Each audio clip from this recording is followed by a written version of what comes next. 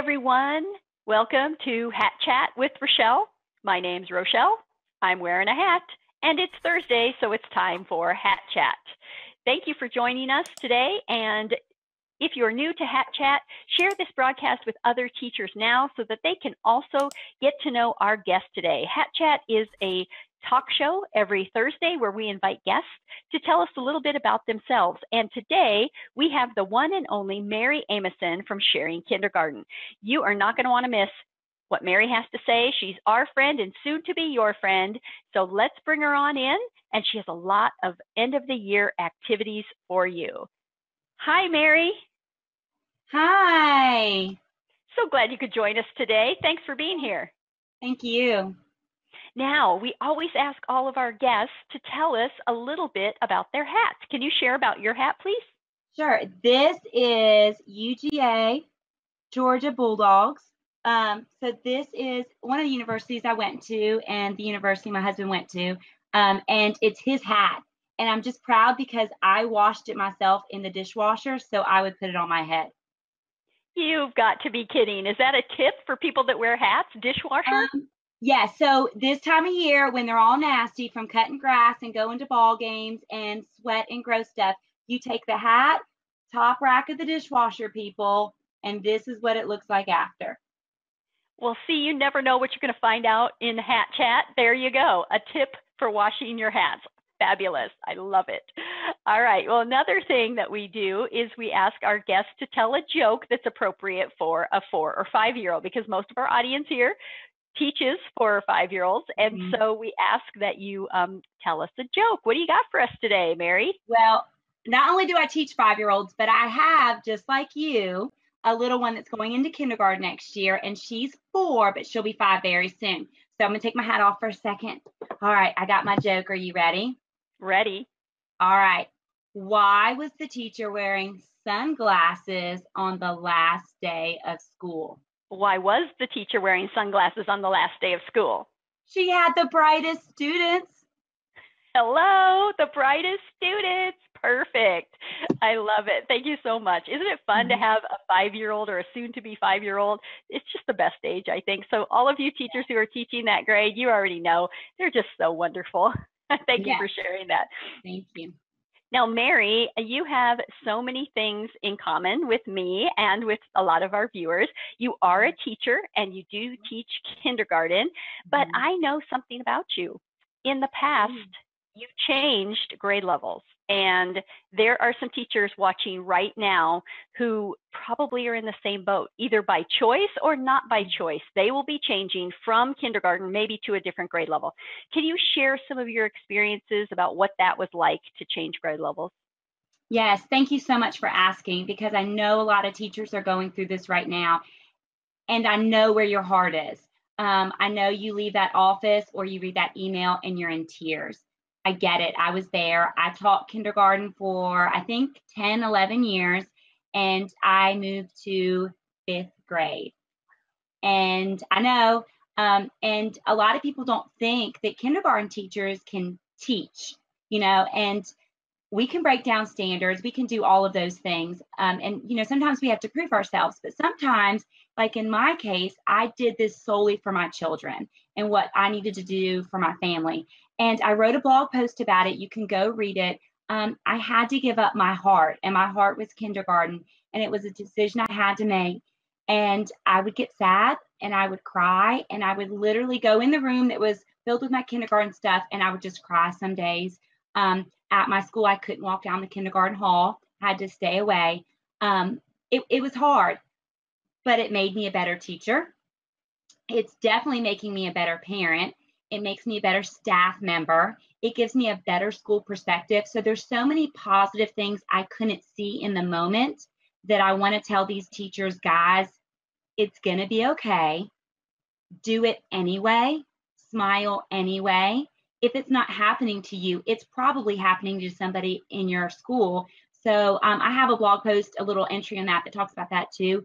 Be kind just be kind. If they come to that grade level and they're upset and they don't want to do it, or they just don't know how to do it, be kind anyway. Um, and then what's really funny is um, I got a gift. I got a gift of going back to kindergarten. I got my passion back. And because I did what was asked of me, my principal did not hold the fact that I did a really good job in fifth grade and I was a good team member and all that against me. You know what she did? She said, You want to go to kindergarten? And she said, Do you want to go home and pray about it? I said, Well, I'll lie to you and say I'm going to go home and pray about it, but you already know my answer, right? And she said, Yes, I do. That's awesome. And we just put the link to that blog post that you wrote about. So, teachers, if you are in that position or you know somebody who is, as Mary said, please click on her blog and she will share her heart with you about how that went. So, thank you so much for telling us about that. That's wonderful. Now, we know you have a lot of things about the end of the year. We know you wear many hats, just like all the teachers here, wearing many hats at the end of the year. So we have some um, people online ready to go, ready to hear. Hi, Jessica. So glad you're watching us. Um, that want to know some things about the end of the year. So what do you got for us, Mary? Okay. So guys, I have 11 days left. Field days tomorrow. So I have my hats going. Are you ready? This is my field day hat, right? I got to do field day, guys. Guess what else I got to do? Scrapbooks. I got to wear the scrapbook hat. I got to get it together. I got to get the paper and the digital one ready. Um, I also have school play, school play, costumes, outfits, lines. What else do I have? I have to get all those fragile flowers through the end of the day. I have to do Mother's Day. What else? I have to do end of the year awards and gifts. And if this could fit me, this would be my crash helmet. Okay. so, guys, all the hats.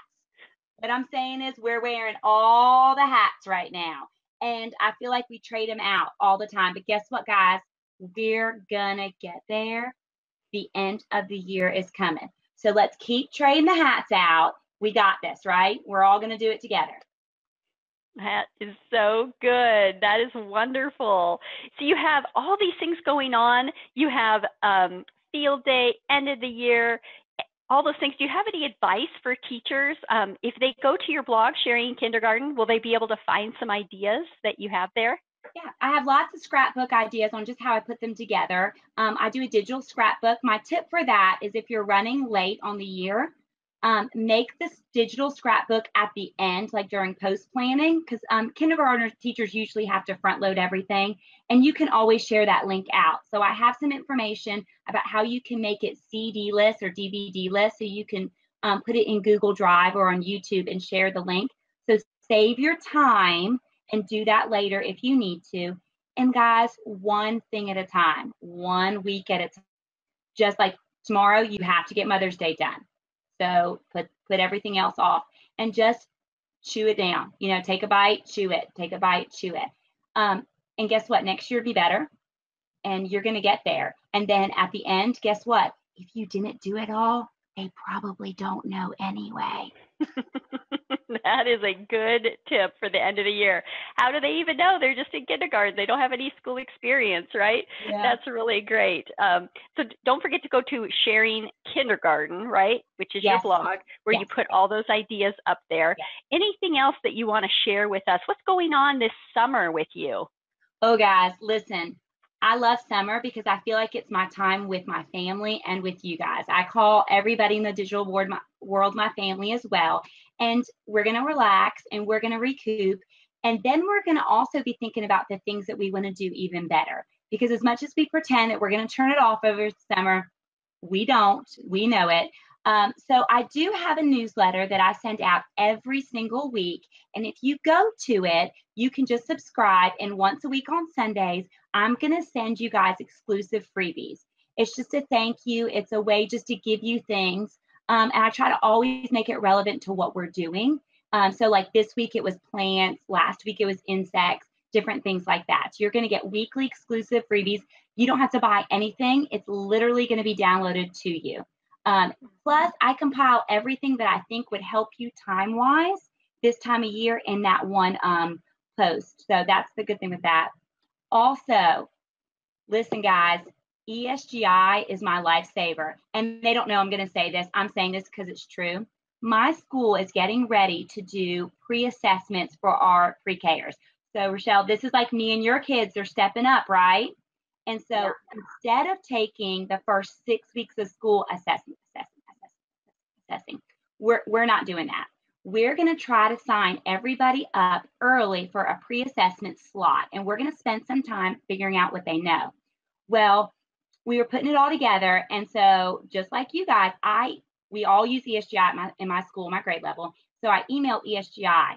Guys, I don't think they tell people this. They will give you a free pre assessing account. So everybody in my team is going to log into this pre assessment account. It's already set up. I took all the tests that we always give our kindergartners the first week of school. I just, you know, went to test finding, found the tests, put them in there. We are going to get to assess all of our pre-Kers in that pre-assessment. Then ESGI is going to flip them to kindergarten students for the next school year, and we can pull those students into our roster. It's guys, amazing. It's amazing. this is huge. So I told my team about it and I pulled it up at our grade level and they almost lost their minds. They were like, Is it that easy? And we were like, Yes. And then my administration said, You know what, Mary? we could use this to even the playing field in the classrooms too. So um, pre-assessment account, we are picking two days. We're picking one post-planning day and one pre-planning day to do these assessments, and we're going to use the pre-assessment account ESGI is giving us. We're going to put our, all the students in. We're all just randomly assessing students into that one account, and we're using that. So that was a huge time saver and lifesaver. Okay, other great summer things. So this year, my school upped the amount of sight words we had to learn from 100 to 200. Wow. Okay. Wow. Well, I was scared too. Um, what happened was most of my students don't know 200. Guess what? They know 400. Um, and one of the reasons, yeah, they they knew that. And I'm not. I mean, this is a good group, but it was it was crazy. I put together sight word stations for my kids, and all of these assessments are also in ESGI. So what I do is I have weekly games that my kids can play on the specific sight words that they're learning. So there's like 14 different games for that list of sight words, and I have it all organized. This is a great summer project that you can absolutely do. So this is for weeks 10 through 18. Um, I love this. I have some blog posts about how I organized this, but this was a huge, huge change in my classroom because now I'm teaching my kids sight words the way that they want to learn them hugeness. So um, we just soared with sight words. It was awesome. But then I had a problem. So I had some students that were missing weeks of school or a day or two here, and they were missing words. And I was like, I can't, I, I, I can't catch them up. Like, how do I teach this kid this word, this kid this word, this kid this? You know what I mean? So I got smart, and I'm a little techie. And so what I did was, is I made scannable activities that students can learn specific sight words with. So you can pull up your ESGI, you can see what words they're lacking. Your kids, you can give them this sheet, they scan this code, and they get a one on one activity specifically about this sight word. So every kid in your room can be working on their specific sight word. How awesome is that? Um, this was huge for us um, to catch them up. And I'm showing you these two on purpose because these are freebies you can get um, so I'm going to give you guys the link to it, but these are QR scan and learn printables. And in the download, you can get, and I gave you good words. I didn't give you like bad words like A or I. I gave you words I really thought your kids would need to learn. So you can grab those. Um, this would be a really great activity to prep over the summer because you print, and then I'm going to grab this. You just put them in ABC order. So this is just like a Rolodex type thing, but a bigger file. Um, so that's that's a great thing. I love those. I have lot every single file I have has a freebie with it. So definitely grab that. So that's the big things that I'm working on this summer. I have um, two conferences I'm going to. I'm going to be at I Teach K, and I get to be there two days this summer, and I'm so excited. I get to talk about one of my passions, which is science and social studies. Love integrating science and social studies. So I'm going to be there July 10th and 11th. Um, I think Jessica Travis is going to be there too. Um, lots of phenomenal people. ESGI, are y'all coming? Yes, for sure. All the days. We'll be there the whole time. Yes. And ESGI is fantastic. What I love about ESGI, and they'll tell you I do this too. So I have a question and I want to see it. So I'll run up and I'll be like, all right, now show me how to do this real quick. And what do y'all do? You show we me. Show you. um, so I love that. And also going to be at Frog Street Splash. It's going to be in Texas. It's a great conference as well, and I'm going to be there July um, 25th through the 27th. I will be hosting a giveaway to get to that conference for free very soon on my um, blog and Facebook page. So that's going to be awesome. Um, at Frog Street, I'm also going to be presenting on one of my passions, which is science and social studies integration. So I'm going to be doing that as well. Um, and that's just going to be awesome. Um, and if anybody is trudging along the end of the year and you're doing report cards and you're doing play and you're doing field day and you're doing blah, blah, blah, blah, and you need help, I got tons of science stuff you can just grab. They're called print and play. You literally print them, cut them, and you can play. And it'll cover all your science or social studies standards and so much more. So if you need that, it's there for you as well. Yeah, we're putting all those links that you're talking about to your blog Perfect. all in the comments there. So anybody who's watching, make sure you look in the comments to click on those great resources because you are going to want to use them over the summer. And as Mary said, you can, if you are um, using ESGI, get a pre-assess account. And as she mentioned, there's so many resources there because you can make balanced classes for the new year, which is something mm-hmm. so unique. And you can also get all that data. And even as a principal, I knew that I could give to parents a list of all the things the child needed to practice over the summer. And you know what happened sometimes? Parents looked at that list that was so long and they said, my child doesn't know all of this. Yeah. Maybe I'm going to wait another year for kindergarten. And you know what we do then as educators? We celebrate because that's exactly probably the the decision right. that they probably should have made. But if you don't know about ESGI, and Mary's been talking about it a lot, you might want to go on and do a free trial right now. Yes. And you could use the promo code sharing K, right? Yes, that's mine. Mm-hmm. Yeah, you and sharing I honestly K. use it. Like I honestly use it. I've used it for years. I love it. Um, I brought it to my new school, and my team was like, "Why are you done with report cards? What did you do different?" And I was like, "Oh, let me show you." And they were like, "No." That's exactly what we love to hear. So if if you are on a trial, great. But if you aren't, you know, sign up, sharing K. What are you waiting for? You know, it's the perfect time of year because, as Mary said, you can customize your account to meet your needs for the coming school year. So, if you want to pull in all the tests that have all those sight words, for instance, go ahead and do that over the summer because you're right. We say we're going to relax, but we never do. We just keep on going. So, right. it's perfect. So, check out all those uh, links that we put in the comments. Mary, we just appreciate you so much for just coming on and sharing your heart with us and all your activities and all your hats because we know this time of year is really a busy time. So we appreciate you taking the time today and spending a little bit of time with us. Well, thank you. I feel so blessed. Like I said, I consider all of you guys my family as well. And I really just want to tell y'all hang in there. You know, um, celebrate these days. Um, make sure you're enjoying each kid a little bit every day, even even when it's stressful, even with it, when it's tough, because there's going to come that day in June or maybe July for you you'll be like, oh, I wonder what so and so is doing right now. Or they'll send you the pictures and you'll be like, they lost that tooth. They grew an inch, I swear. So we love them. They're ours. Let's That's right. And people are saying thank you. So thank you, Mary, for thank you. joining us. And if you're new to Hat Chat, to excuse me, live broadcast, tune in every Thursday for more Hat Chat. I better go get a drink of water. Thanks, everybody. Yes. Bye.